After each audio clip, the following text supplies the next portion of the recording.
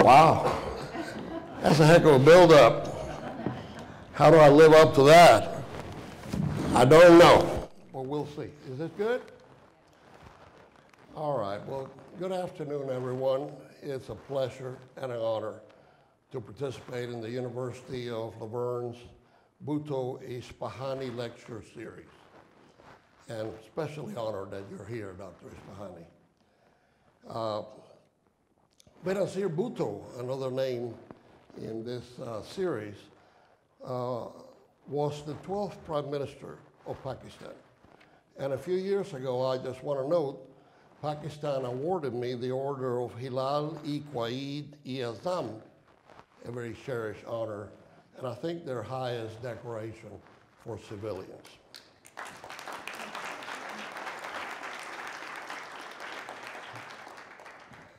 Additionally, given the rich history of past lecturers that precede me, it was flattering to get the call by Professor Ambassador Juli Minoves Triquell. Juli, where is Juli? There's Juli. I want to look at him. Uh, Juli excelled in his various governmental roles at the Principality of Andorra. During my time as ambassador to Andorra and to Spain, I admire his diplomatic skills, global knowledge, and personal wisdom as Andorra's foreign minister. It's exciting to see that he has morphed, transformed, and is now blazing new personal trails in the academic world. Congratulations. Juli, it's an honor to be your friend. And let me say once again, thank you for awarding me Andorra's highest civilian decoration, the Order of Charlemagne Grand Cross.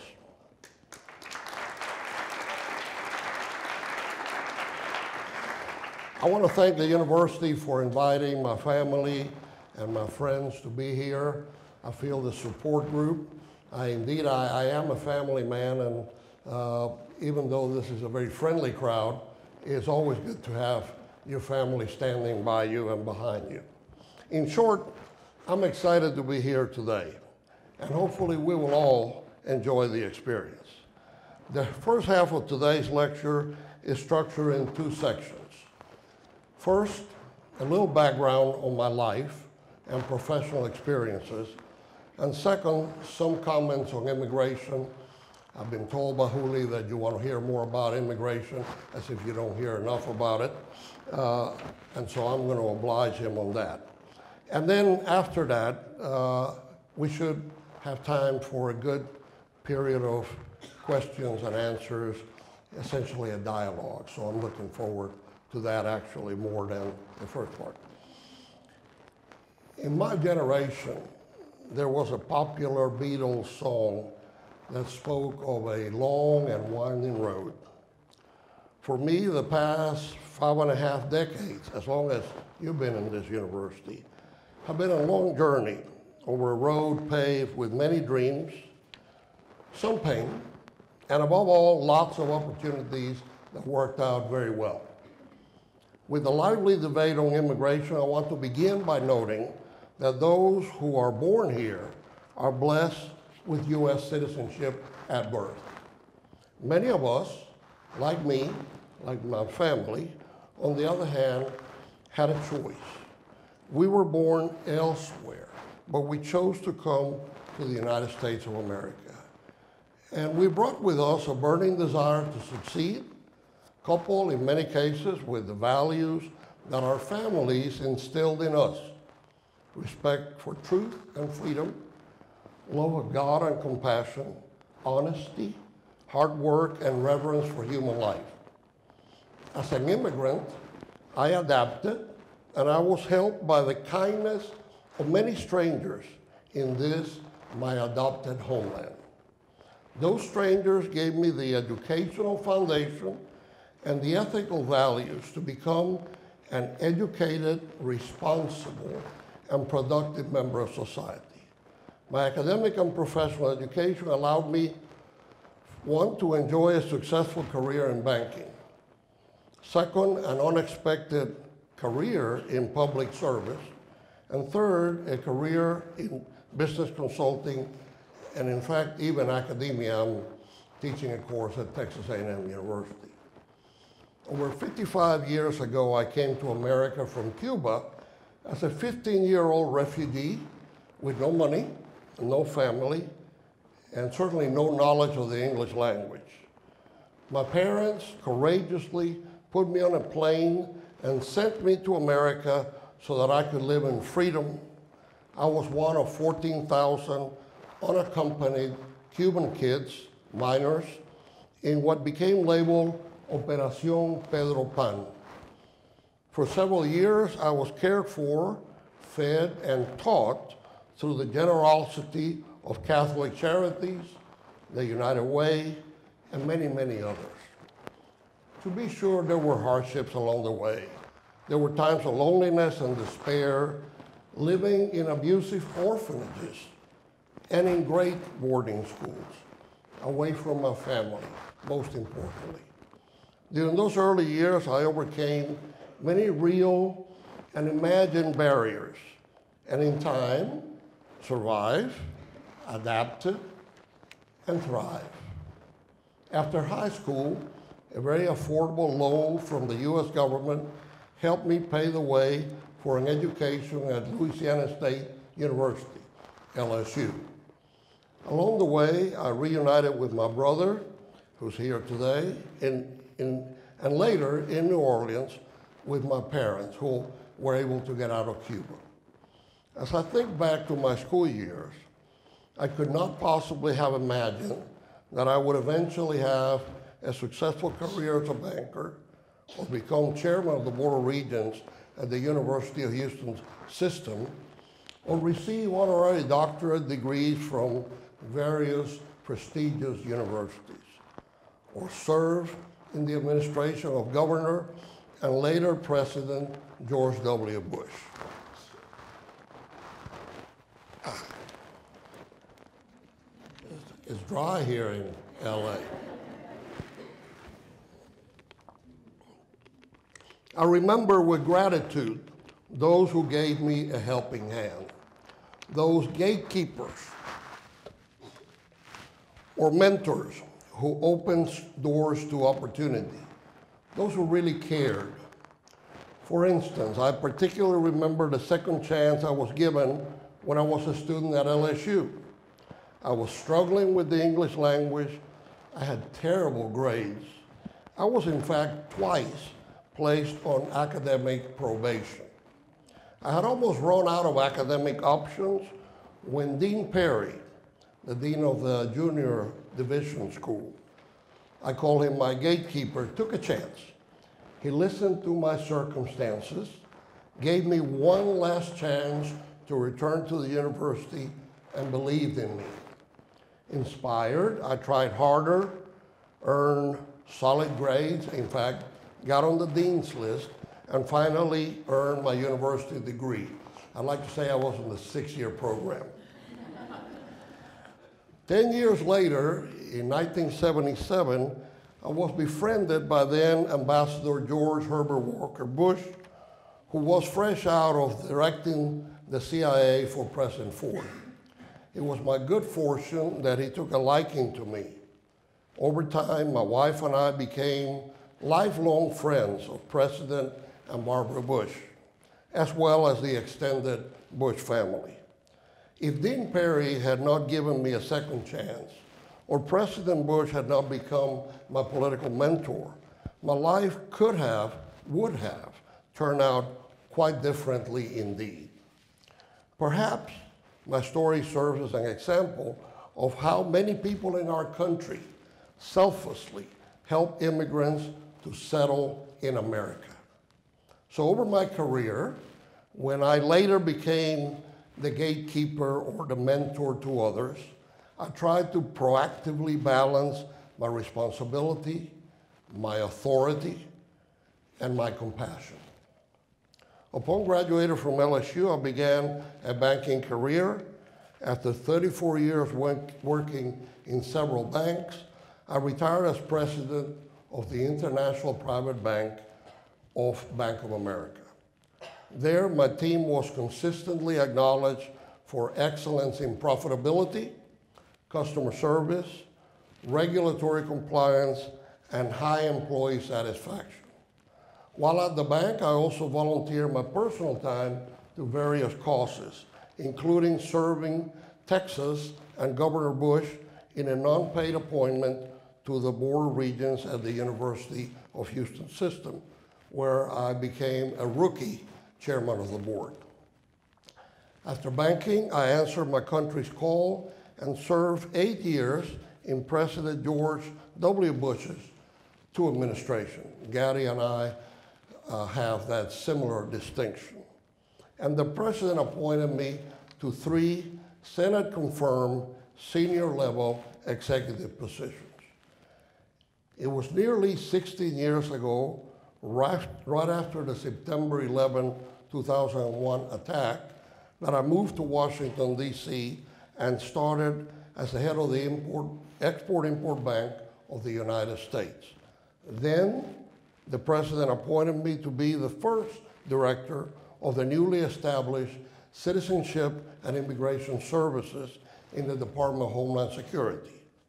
And finally, during President Bush's second administration, my wife and I moved to Spain as I was appointed the United States ambassador to Spain and Andorra. I'd like to say I was paid for Spain, but I did Andorra for free. Little did I dream as a young refugee boy that one day I would be serving my adopted country at such high public offices. Only in America does that happen. By naming me to three responsible positions in his administration, President Bush took a chance and underscored the fact that in the United States there never should be second class citizens. Native born or naturalized, we need to have the same rights and shoulder the same responsibilities. Occasionally, I reminisce of one experience in October 2005 as the head of our nation's immigration services. And for the first time in an overseas setting, I personally naturalized some of the 40,000 immigrant men and women then serving in our armed forces. I led a team of USCIS employees to both war zones, Afghanistan and Iraq, and also to Germany, to fulfill the dream of American citizenship to active duty military personnel serving overseas. In 12 whirlwind days, I saw thousands of everyday American heroes who witnessed firsthand how they carried out their duty with honor and patriotism, many in harm's way. In fact, I know that some of those to whom I administered the oath of citizenship were subsequently killed in action. Like those servicemen and women, I feel truly blessed to have served the United States, my adopted country, and to live in the United States where there are no barriers to what an individual can accomplish. We live in a country where the most difficult barriers are really within us. Now, at the beginning of my talk, I promised to also focus on one specific hot topic of universal interest, immigration. And being in a academic setting, seems to me that I need to get in the weeds and uh, talk a little bit about some of the immigration details. Perhaps that will prompt you to ask some questions to which I'll have no answers, but we'll work it out. In the wake of the terrorist attack of September 11, 2001, the Immigration and Naturalization Service was permanently, the old INS, was permanently disbanded on February 28, 2003. INS functions were then transferred to the newly formed Department of Homeland Security and split into two main roles. Service functions went to the U.S. Citizenship and Immigration Services, uh, the, the, the bureau that I headed, and enforcement functions to Immigrations and Customs Enforcement, known as ICE, and Customs and Border Protection, known as CBP, Enforcement Service, two different functions. As the first ever director of the newly created USCIS, my main initial challenge was to re-energize a demoralized workforce back into productivity. The subsequent objectives were to eliminate a growing backlog of applications. Look, on my first day, I found a 5 million application backlog. 5 million were sitting in various inboxes waiting to be processed. Also, to maintain the integrity of 7 million annual adjudications within a complex legal system. In other words, USCIS receives approximately 7 million applications for immigration status, and they, they are adjudicated in what is actually the most difficult and complex legal system in our country. It competes unfavorably with tax code. Also, simultaneously implementing new elements of security and background checks to improve security aspects of immigration and processing around the world. And obviously to prevent terrorists and other criminal and undesirables from immigrating to the United States. Also, we instituted a new culture of respect, respect for both applicants and co-workers. We fundamentally transform our nation's immigration services into a more secure, efficient, and effective operation. We embraced a simple but imperative mission, making certain the right applicant receives the right benefit in the right amount of time and preventing the wrong applicant from accessing America's immigration benefits. Our core values, integrity, respect, and ingenuity, we had to re-engineer most of the processes. During my two and a half year tenure, USCIS made significant and measurable progress towards eliminating and eventually eliminating completely application backlogs, improving customer service, establishing a new brand identity, and enhancing national security. In spite of what we accomplished in those short 30 months, it's clear to me that the immigration system needs comprehensive, fundamental legislative reforms. As we know, there have been many attempts to deal with these situations by various presidents. For instance, Deferred Action for Childhood Arrivals, known as DACA, is an immigration policy started by former President Obama and his administration in June 2012, allowing for certain immigrants who enter the country as minors to receive a renewable two-year period of deferred action from deportation and eligibility for a work permit. To be eligible, undocumented immigrants must meet certain requirements, such as not to have been convicted, convicted of criminal activities, pose a threat to national security, etc. Now, if you know about DACA, and, and I suspect many of you do, the program does not provide lawful status or a path to citizenship, nor does it provide eligibility for federal welfare or student aid. The policy was created after acknowledging that these illegal aliens have been largely raised in the United States and was seen as a way to remove immigration enforcement attention for low priority individuals who act as good citizens the undocumented alien population is rapidly increasing, approximating 65,000 illegal alien students who graduate from U.S. high schools on a yearly basis. That's a lot. From the start, it was estimated that up to 1.7 million people might be eligible. Over half of those applications that were accepted reside in California and in Texas. And we are in California. And I come from Texas.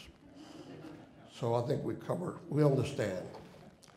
As important as DACA is, significant and comprehensive immigration reform is needed to resolve the issues related to our existing undocumented immigrant population. When I was in government, a member of President Bush's team, on January 7, 2004, President Bush reaffirmed his desire for social reform and laid forth plans for its implementation. It was then known as the Guest Worker Program. And I know Gaddi and I spent some time thinking about that and speaking about that.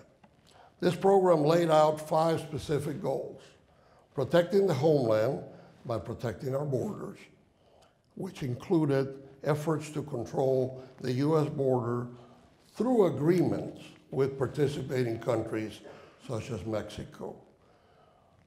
Two, to serve America's economy by matching a willing worker with a willing employer. Three, promoting compassion. The program would have provided a temporary worker card to undocumented workers that would have allowed them re-entry in the United States as they travel home for family emergencies or happy events. Four, it provided incentives to return to home country at the end of the period. And five, it provided the rights of, protected the rights of legal immigrants. But it did not provide for a, a getting a green card. In other words, illegal immigrants that were here through the normal process would not have been preempted by this group. The program also contained specific agenda items for reformation of the guest worker program already in effect. The proposed program did not include a permanent legalization mechanism for guest workers. Well, in May 2006, the Senate passed a bill which included provisions for a guest worker program following the general guidelines of President Bush's proposed plan. However, no further action on the bill was taken by the control Republican Party House. So the bill was defeated and it evaporated. The setback was unfortunate because we came so very close to resolving a complex and emotional issue. And someone will have to deal with this sooner rather than later.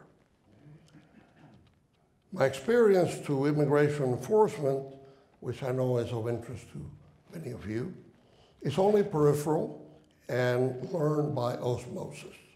Nevertheless, let's review some basic facts.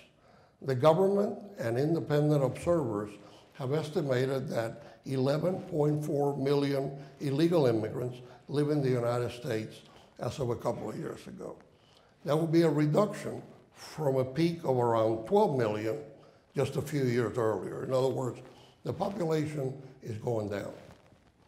As of last year, illegal immigration to the United States continued to decline, particularly in comparison to its peak in the year 2000. Our undocumented population, contrary to popular belief, is mixed. 52% or half from Mexico, 15% from Central America, 12% from Asia, another 6% from South America, Caribbean, another 5%, and Europe and Canada, another 5%. Economic reasons are the most popular motivation for people to illegally immigrate to the United States. In our case, it was political, but today, uh, economic reasons are the main drivers to bring in illegal immigrants into our country. The, logic, the logistical challenge to deport several million families is often not brought up in polite conversation. I would say to you, where would we house 11 million individuals and families who might be awaiting, awaiting deportation? Where would we deport them to? Not every country would accept those deportees. How do we shelter, feed, clothe, and provide basic health and sanitary care for them? Basic logic leads me to believe that rounding up and deporting a significant percent of our undocumented immigrant population is not only impractical, but truly impossible. As you can sense, I view immigration as a highly complex, polarized, and polarizing.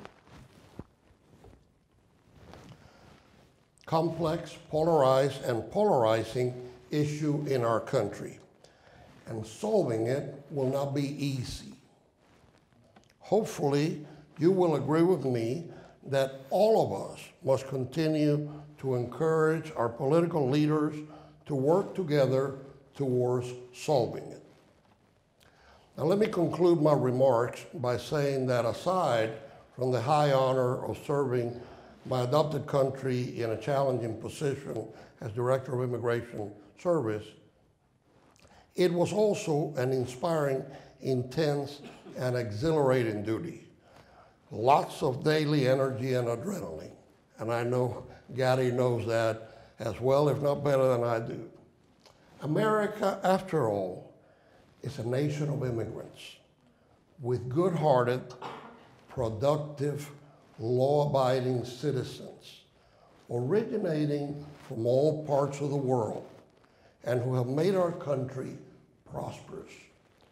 Perhaps that is why I find mine to be a common immigrant story in an uncommon country, perhaps with remarkable results. And as I said at the beginning, only in America, and may God bless America. Thank you very much.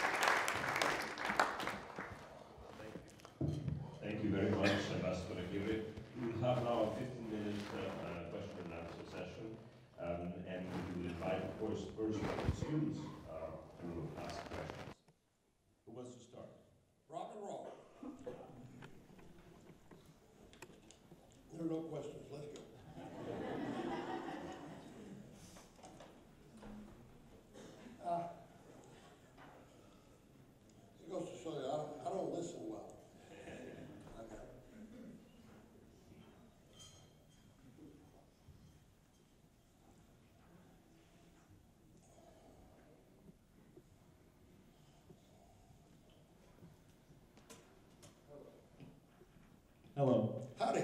Howdy. I just wanted to ask you, I know you said your dean in college was very influential. Was there any other individual that really helped you get over the hill and uh, get to this level of success that you have been working on your whole life? You know, the, yes, uh, I hope everybody heard the question. Beyond the dean and President Bush, other individuals, um, the list is long. And the list is long of people I know and people I don't. Now, what I, what I mean by that is this.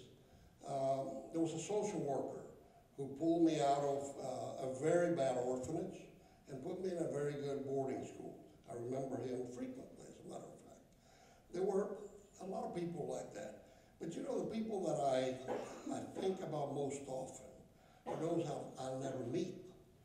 Catholic Charities, the United Way, were paying my way in this country until I graduated from school. And they are funded by you, charitable contributions, church donations, whatever it may be. And those people will never meet me. I certainly will never meet them, but they changed my life. So when you think about America, we're a giving country. We really are a, a generously giving country. And some of those donations benefited someone like me, and hopefully I'm giving back in, in a, in a circular motion. I don't know if that answers your question. Thank you. Hello, Mr. Aguirre. My name Hello? Mariela Martinez. I'm also from Texas, specifically El Paso. Excellent. Um, my question relates to uh, last semester we had Ambassador Luis Ernesto Derbez, a foreign ambassador from Mexico. He also served during uh, Bush's administrative, administra- executive administration. And he talked about how between the US and Mexico we want to implement somewhat a Schengen style passport visa interchange. I was wondering if you could share maybe if you were involved in that process or what you knew of it and how that could have changed today. Yeah, the, um, I, I'm not remembering what the name of the document is, but it's a consular document that, uh, the Mexican government wanted to give and gave to their citizens in this country as a form of identification. Um, I think it's an attempt at, uh, documenting undocumented people, uh, which for the Mexican government, makes a lot of sense. For the United States, perhaps not as much. Um, Obviously, those people could also have a passport, but chose not to pursue that. Um, You know, what's the, what's the value of documentation? Documentation is supposed to accredit you as someone who has some rights, responsibilities, or identification. If you get a driver's license, hopefully means you can drive. Uh, someone has tested you and the laws of driving and the practicality of driving. And so, and so it goes. And passports are really the ideal form of documentation because those who hold passports from different countries are adhering to a, to a format, to a protocol to which different countries have agreed to in the Geneva Convention. So the Mexican government using the consular ID card, it's, I'm not offended by it, but I don't find it as helpful or useful as it could be. Does that answer your question? Thank There's another question here. Hello. Um, First of all, I would like to thank you for such profound and insightful remarks. Um, And second, on a more contemporary note, you already touched on the issue of the backlogging of the tens of millions of people who have uh, sought for legal immigration status but have been backlogged, unfortunately. Would you say in today's pervasive rhetoric of America First and the whole isolationist approach and extreme vetting and whatnot, would that be safe to conclude that there will be an even larger backlog in today's immigrant seeking process? Um, I left my crystal ball at home, and so I'm just gonna have to guess, uh, the answer to your question.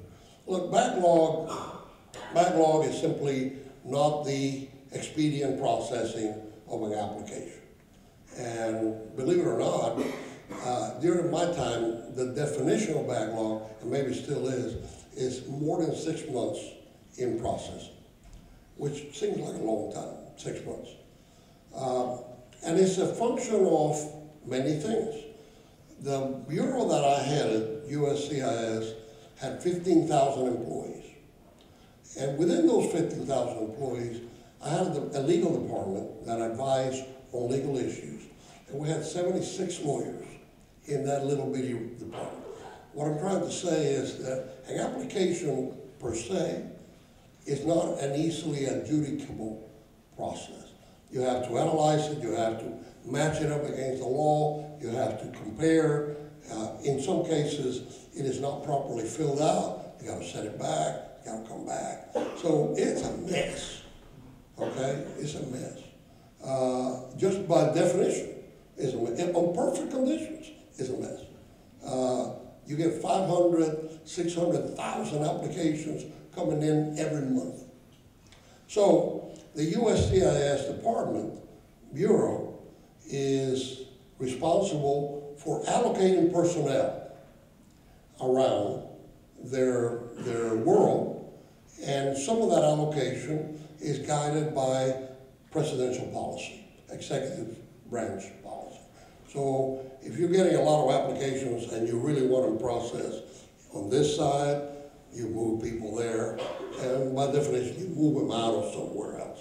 So, uh, I know that the next director of USCIS will have to balance the efficacy of the process with the directives that he or she may be getting, it's a he, I know, uh, already been named, uh, he will be getting from the White House and from the head of uh, Department of Homeland Security. Bottom line is, how would I know? Uh, I mean, really. But I know that no one in USCIS wants to delay processing applications. They're good people that are trying to do a job, career people that are trying to do a job. And I, you know, I thought very, very highly of them. And they're sometimes, you know, they have a job that starts at eight in the morning and they need to go home to their children at five in the afternoon. And the last application gets processed and the next one gets processed next. So, uh, bottom line is, look, we are blessed and cursed as a United States of America by a lot of people wanting to come. And it's a blessing, but it is a curse in processing. Some more questions? Yes? And there's another one up there. Actually, I wish to uh, piggyback off of my uh, colleague's uh, question very slightly. Um, In regards to the backlog, uh, how would, legally speaking, uh, illegal immigration make it more difficult for those who maybe take the time to uh, attempt to immigrate here legally? How do those actually come into conflict? Um, And how does that make it more difficult for UC, uh, uh, MIC, or uh, the individuals attempting to adjudicate or take care of these matters? Got it. Uh, They're, they're actually, they, they, they can be harmonious. Um, It takes a little creativeness, but it can be harmonious. Um, If you, if you think of the eleven million illegal uh, immigrants that are in this country, uh, and you try to process them, and you find them, you find them a thousand dollars. Well, a thousand dollars times eleven million, it's a lot of money. A whole lot of money. And that would fund digital and data processing features that do not exist today. You see? You know, if you look at the digitalization of the processes, we've gone from, you know, getting ink in your fingerprints and putting them in cards to digital processing, to facial recognition, to any number of different things that speed up the process. So, one of our uh, premises when we tried to pass the law that I described was that there would be a fine associated with those who were here illegally, a, a practical fine. Uh, You know, it could be two thousand dollars, could be five hundred dollars, I don't know. But the sheer numbers made it a mountain of money, which we could in turn immediately uh, utilize to bring equipment and, and systems that would help everybody. You follow me? Follow up. This is like the press conference. Considering that,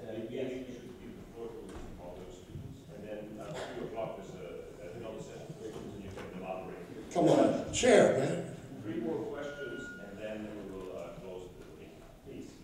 Hi, my name is Faisal Dill. I'm a freshman here at the University of La Verne.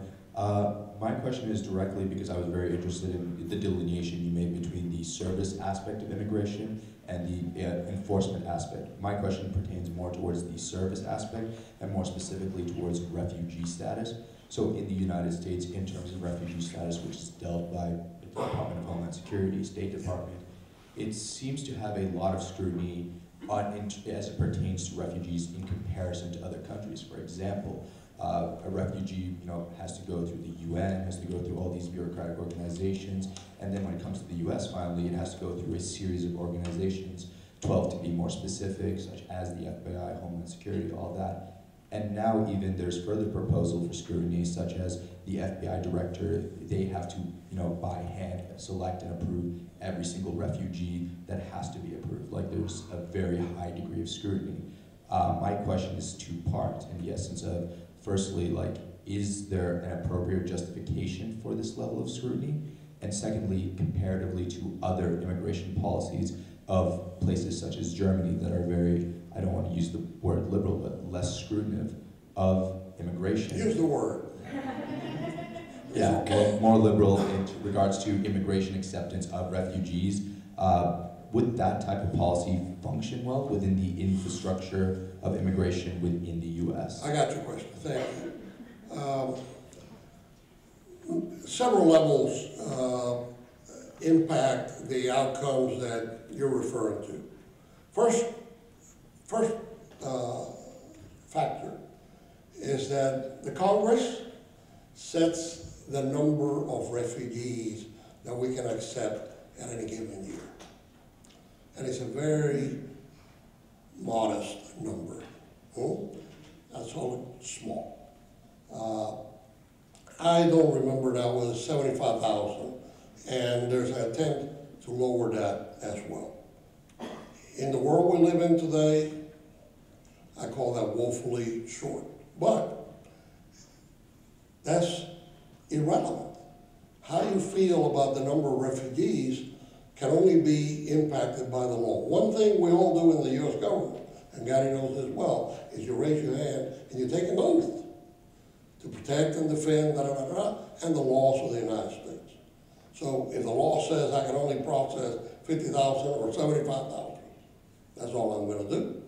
I may cry on the seventy-five thousand zero zero one that I have to pass up, but that doesn't make it different.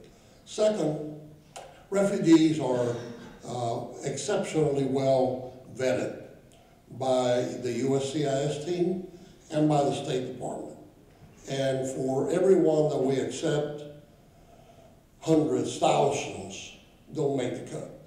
That could make the cut, but, you know, we, we make a very strict uh, process to determine that we're letting in people that are worthy of, of the uh, benefit.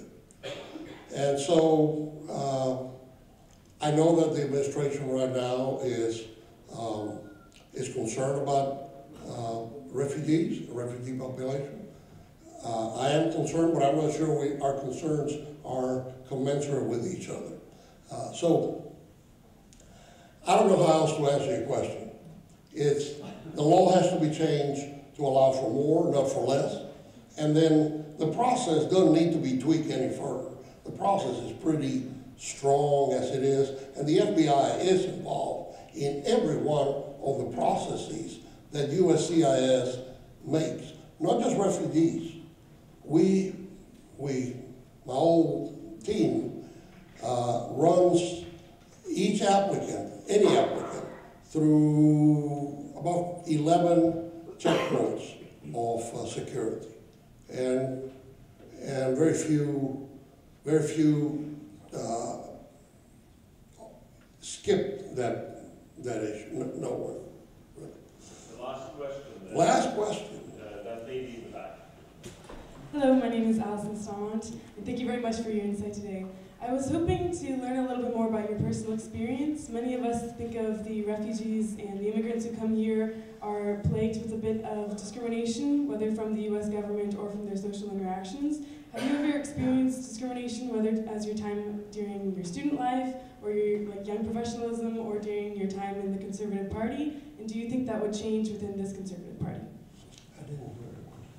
Whether you felt you felt discriminated uh, when you were a refugee here, and whether your experience, uh, your life experience. Look, I'm wired optimist. I bet you that I have been discriminated against. I just never knew it. Guess what? Uh, it, it never, never even occurred to me that I was being discriminated, but I bet I was. Uh, that, that's not something that concerns me. You know, my wife will say, oh, look what you're doing, somebody will think that. So be it. Uh, I live in my own little, uh, space in that sense. But, but, but I understand the issue of discrimination. And I understand the issue of discrimination on any number of, look, I discriminated in favor of this tie today. I had two, I brought two, and I discriminated in favor of this one, but that's not illegal. Now, what is illegal is discrimination against, and you know the numbers. So, as a country, we need to make sure, particularly law enforcement, does not forget the law on what is appropriate and what is not appropriate in terms of discrimination. Does that answer your question? Great. Hey, okay. We're coming to the end. uh,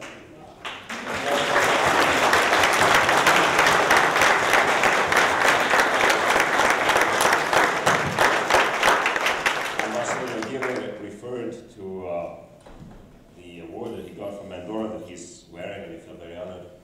Today we have something else from him. Leader so I would call Dr. Ahmed Ispahani to the, to uh, the podium here. If you could please come, uh, uh, Ahmed, come up to the podium. And he will um, give you, in the name of the University of La Verne, the Ahmed Ispahani and uh, Bhutto uh, award.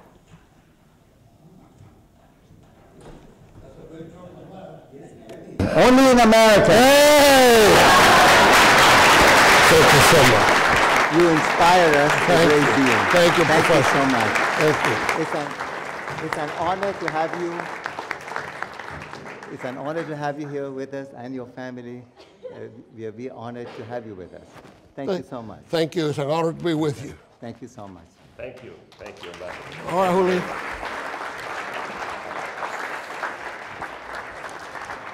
See y'all.